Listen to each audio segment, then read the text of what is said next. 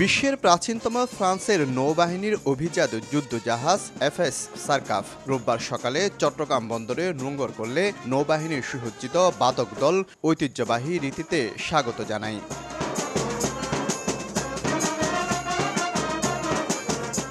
এ সময় চট্টগ্রাম নৌ অঞ্চলের commander chief staff officer captain Faiz জাহাজের সদস্যদের স্বাগত জানান। ফুল দিয়ে বরণ করে নেন ফরাসি নৌবাহিনীর জাহাজের ক্যাপ্টেনকে। এর আগে সফরকারী জাহাজটি বাংলাদেশের জলসীমায় এসে পৌঁছালে বাংলাদেশ নৌবাহিনীর জাহাজ স্বাধীনতা অভ্যর্থনা জানায়। একশো পঁচিশ মিটার দৈর্ঘ্যের জাহাজটিতে একশো সত্তর জন নাবিক ও কর্মকর্তা রয়েছেন। And between uh, work for an uh, enhanced interoperability between uh, our both navies and forces and to work for maritime uh, security and maritime sea control. নৌবাহিনীর সমর কৌশল বিষয়ক প্রশিক্ষণ কেন্দ্র পরিদর্শন সহ নানা স্থান ঘুরে আগামী ছয় জুলাই বাংলাদেশ ত্যাগ করবে ফ্রান্সের জাহাজটি।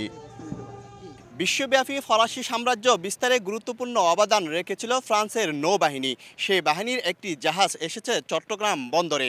এর ফলে একদিকে যেমন দুই দেশের মধ্যে সম্পর্ক উন্নয়ন হবে ঠিক একইভাবে সমৃদ্ধ হবে বাংলাদেশ নৌবাহিনী।